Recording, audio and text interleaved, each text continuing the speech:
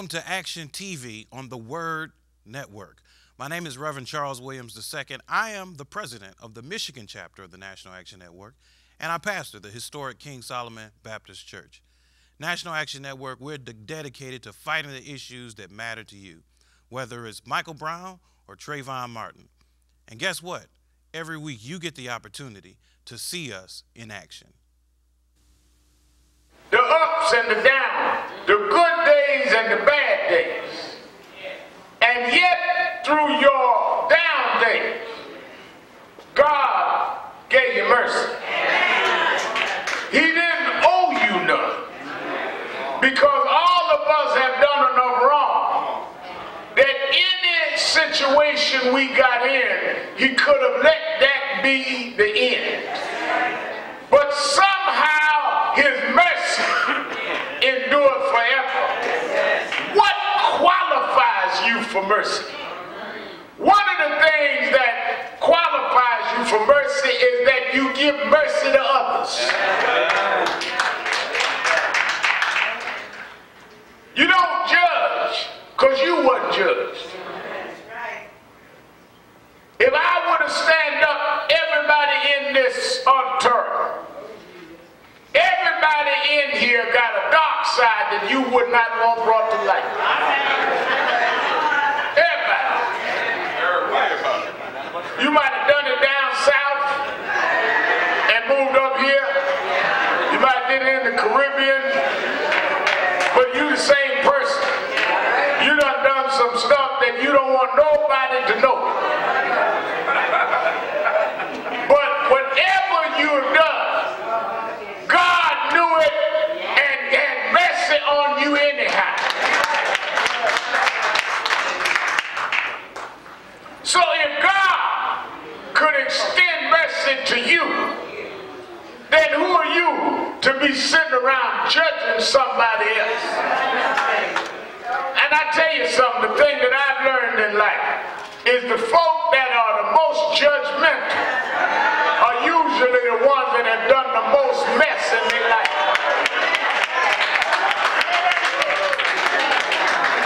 Folk that always talk about everybody else is because they don't want you to ever get to them. So they lead off. Well, oh, you don't know about this, you don't know about that. Oh, child, let me tell you. See, they, they want to get you deep in to some other drama so you won't look at them. And I know how to cut folk off. I said, well, how do you know so much? I mean, anytime you can describe this in such great detail, you must have got through some mess yourself. Mercy, there are no qualifications for mercy. Mercy for those that need mercy. And we as a collective and as individuals ought to be the first ones to stand up and extend mercy since we are the first ones to receive it. That is why, as I go into this whole season, one of the things that have always bothered me about this season is the exploitation commercially. You know, Thanksgiving going from the Pilgrims and the Native Americans, then all the way through the Civil War, it went through different manifestations. George Washington started it, and the Pilgrims sat down with the Native Americans celebrating in this land that they took from the Native Americans. Then Abe Lincoln reissued it again for Thursday in the month as uh, of November after the Civil War, celebrating the Civil War and celebrating the Union. But all of it was around family celebrating harvest. Now, it is very difficult in hard times to give thanks. It's very difficult in hard times to deal with holidays, particularly when we are in a situation of very, very precarious and unsteady living. We're in a time where people are more unstable than they've been probably since 9 11. As we go in this week with Paris and Mali and terrorism everywhere, we have a greater level of fear and tension than we've had probably since 9 11. Well, first thing that I want you to think about is what happens when you face unsteadiness and you face danger. First thing you do is you go back to what can hold you through it. I fly a lot, getting ready to go to California in a few minutes. One of the things that I noticed when I used to fly and get into turbulence and get nervous, I used to grab the both arms of the chair and put my foot hard on the chair ahead of me. Now, as you keep flying, you realize how silly it is. Because if the plane going down, you holding on to what's going down ain't gonna help you. I mean, nothing the chair or the arms of the chair gonna do for me. Y'all laughing, but some of y'all do the same thing you be gripping. Like gripping gonna stop the wind outside. Wind don't know nothing about you inside gripping. Wind having fun with your airplane. But there's a message in your grip. Because what you're really doing is trying to steady yourself through the winds. You can't calm the winds, but you can hold yourself steady in the midst of the wind. What am I saying? I can't control what's going on around the world. But I can find something to hold me steady while I deal with what's going on around the world.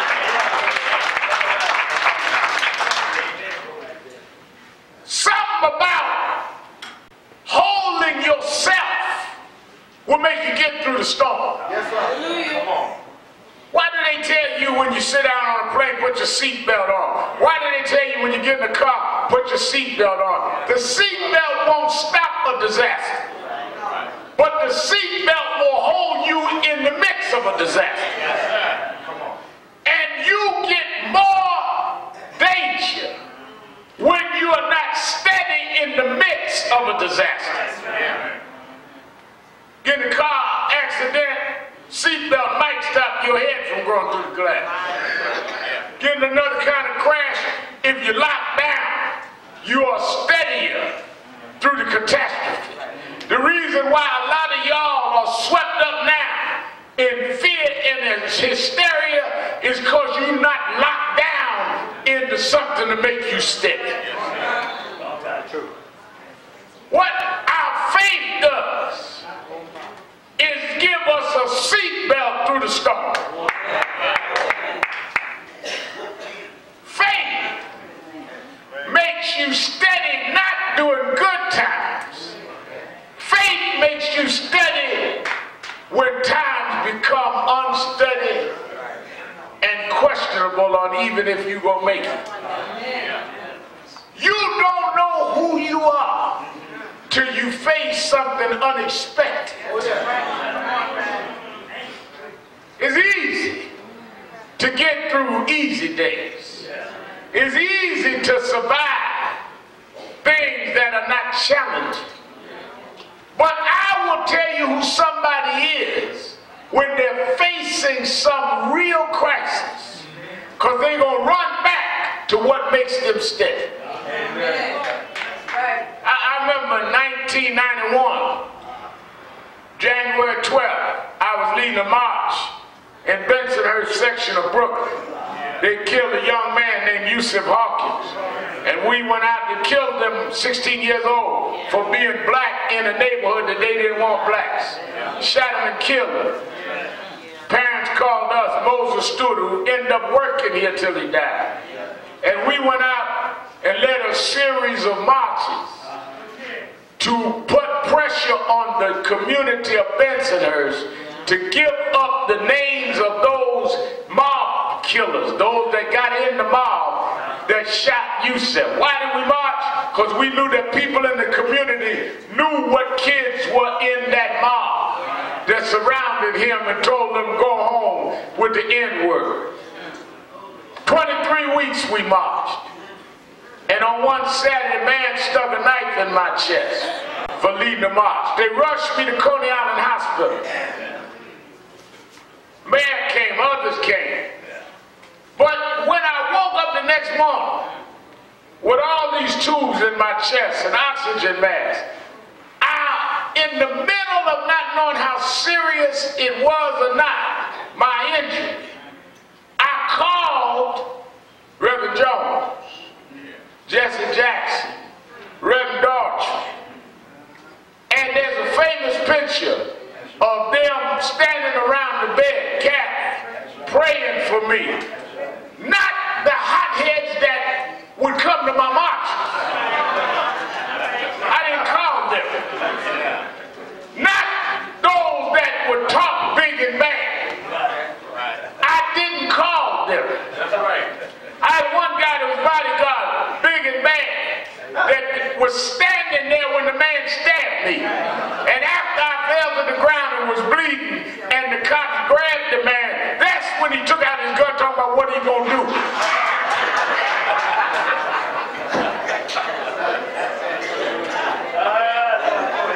It's easy to be an after the crisis militant.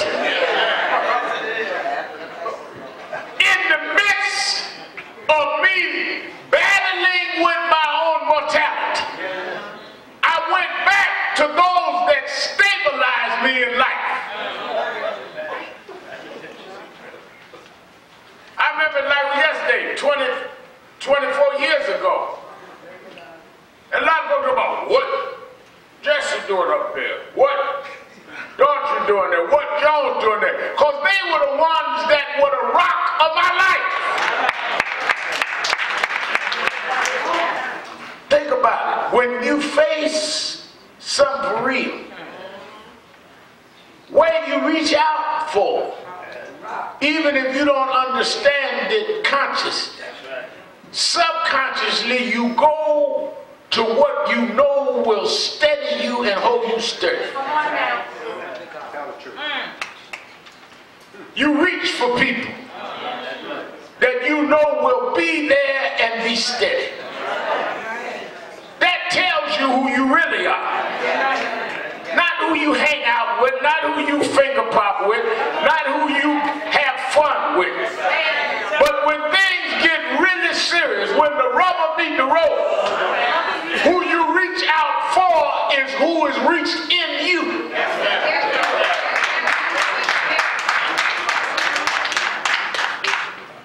I talked about Kathy's mother a few minutes ago. My mother. Some things make you call your mom.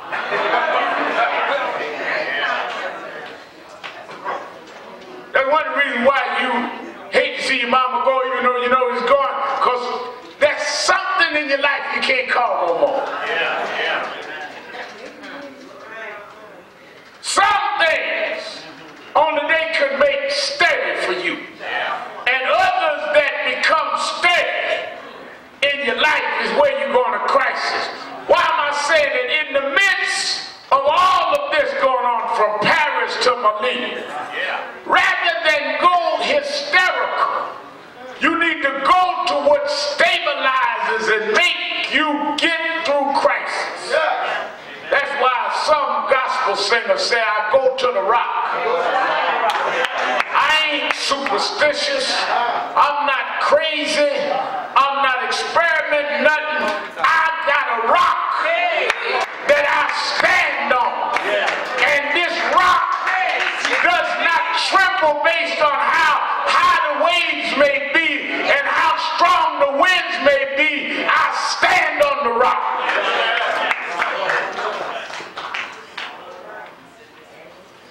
Reason why some of y'all floating through everything is y'all ain't got no rock to stand on. Reason why you go from one news story to the next is you standing on quicksand. And I'm standing on the rock. I need National Action Network office to go to the office of MSNBC. And I listen to all the stuff in the newsroom and I don't react like everybody else because I didn't make it in the newsroom. I made it before I got there. I stand on a rock. And on this rock, he built church. And one thing he promised, I don't know that much about these terrorist groups. I don't know them between ISIS and Boko Haram. But I know he promised on this rock, I built my church. And the gates of hell shall not prevail.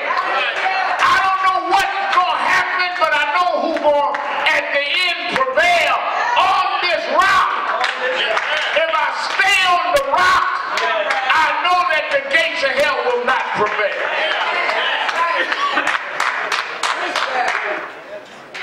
That's why even in the midst of a distorted history of Native Americans and pilgrims, I'm still going to give thanks. I don't agree with what they did to the Indians. But I am still going to stop and give thanks. That's why I'm here every Thanksgiving, not just passing out food, but eating with the homeless. And we cook and have meals because some of the homeless folk ain't got a house to eat in. They can come to the house of justice. Some seniors got a house, but they ain't got no family that eat with them. They can eat with me. I'll be your family. Some children got nowhere to go. Well, they can come here. Yeah. Why? Because we'll be giving thanks. But Reverend, how can you give thanks after we still don't have justice Eric Garner, and we still fighting on college campuses, and we still are faced with all kinds of language problems and discrimination and denial of our economic rights. But the fact that we are here to fight, I thank him anyhow. Because God made a way so we can fight. And it's on that rock of stability that I'm going to give thanks. I'm going to thank him in the bad time. Because he promised if I hold out, that he bring back the good time. I'm going to thank him through my tears until he wipes my tears away. And when I think of what I've been through, if he don't do nothing else, I'm going to thank him for what he's already done.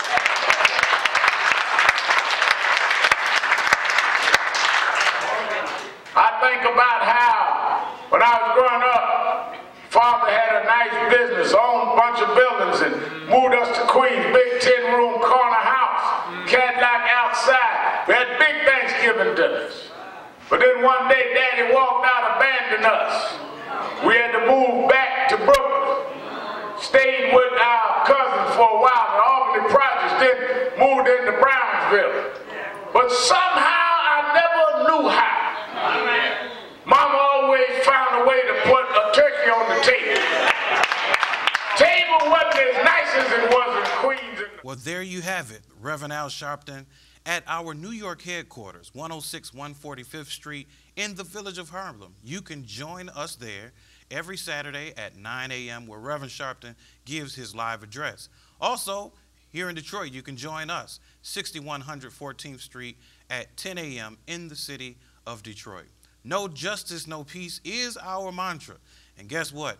We have one who knows about justice as one who protected the peace, and that is pastor of Inner Court Christian Center, Yes, sir. as well as the former chief of police of the city of Detroit, Ralph Godbee. Thank you for being here. Reverend Williams, it is a pleasure to be here. Uh, it's an honor uh, know the work you do.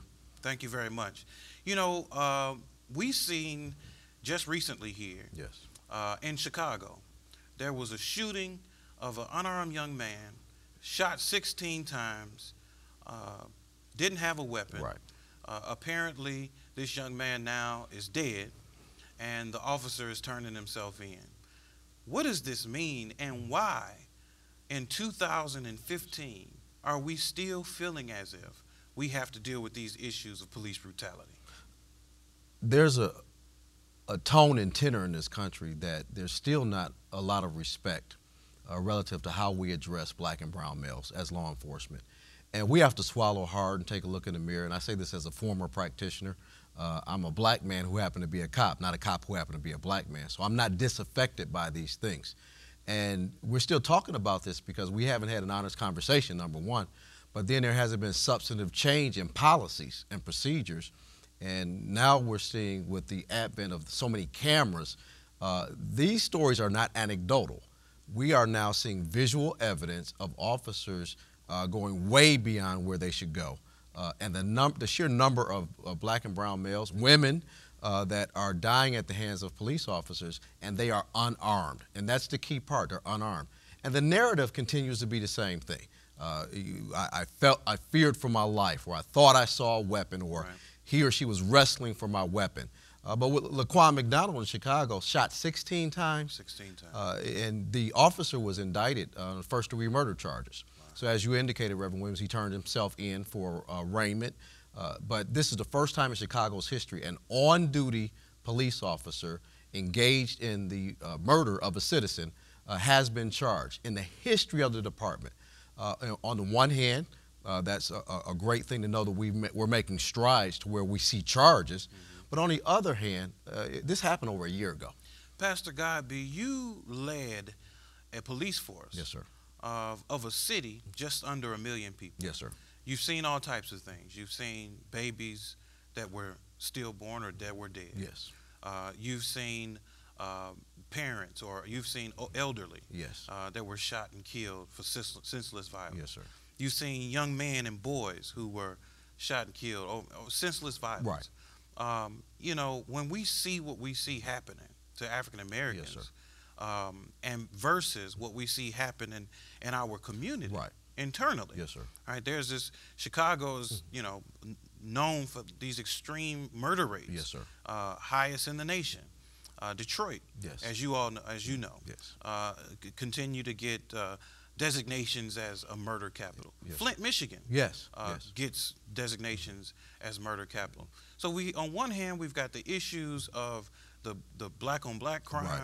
And then on the other hand, we've got the issues of the crimes that we uh, see happening from police forces. Yes, sir. In your assessment, uh, what is it? What can get us to the root cause of the violence that we deal with uh, in our communities across the board? Well, a lot of it has to do with community infrastructure, education, or the lack thereof, uh, the educational opportunities, job opportunities.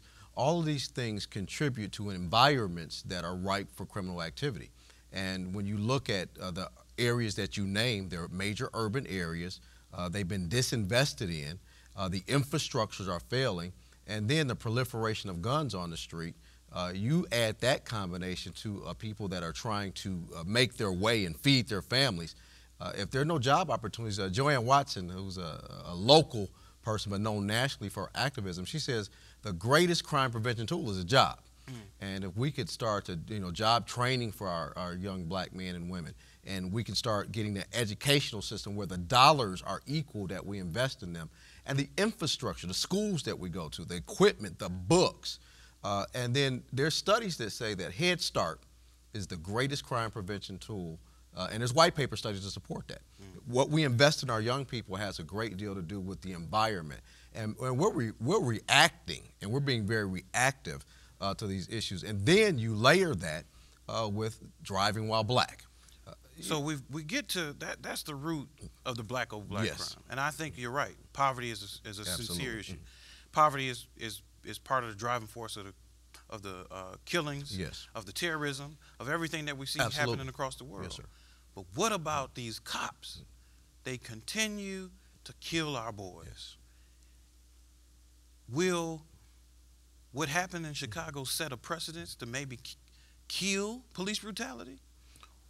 What happened to William Melendez in Detroit? Yes, yes. Who beat up Floyd Dent? He's in jail now, or he's going to jail. Will this will this send a message to these officers that you just can't keep going around killing our boys? Well, that's the first message, but the second message, police leadership has to man and woman up, and because we we don't want depolicing as well, because uh, there are allegations that officers in Baltimore after Freddie Gray have withdrawn. You know, if you're going to charge us, then we're not going to do our job. Mm-hmm. We are sworn and up to uphold the law, the Constitution of the United States of America, and uh, our citizens are they're entitled to equal protection under the law. And never have we been able to arrest without probable cause. Never have we been able to just uh, without cause pull people over or without having reasonable suspicion. So we can't use that as a subterfuge not to do our job. We have to address the racist attitudes uh, that the system is producing. Because if we just continue to look at black and brown males as the enemy, and you look at the uh, industrial prison complex and how many, uh, the disproportionate number of black and brown males that are incarcerated, right. uh, those things are not by accident. So to assess an officer and say that the officer is racist, well, maybe he or she is not. But systemically, there are racist outcomes, and we we're not having these conversations about white men or white young ladies uh, being killed by police in mass, unarmed. So the disproportionate number of people that it's happening to by sheer reason means that we're doing something wrong. Well, there you have it, Pastor Ronald Got, Pastor Ralph Godbee, yes. who is the brother of, of Ronald, Ronald Godbee, yes, from uh, the River Church yes, in North Carolina. North Carolina, yes. He's also the former chief police. We're going to have him back. We're going to talk about this more. We're going to deal with this every week. Every killing, every shooting, whether it's black on black or whether it's police on black. We're going to deal with this and we're going to deal with other issues. And I need you to stay tuned and stick with us as we deal with these issues.